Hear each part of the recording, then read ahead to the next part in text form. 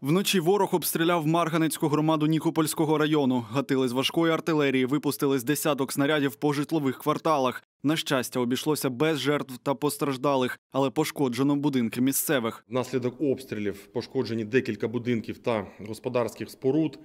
Е, На щастя, минулося без загиблих та постраждалих.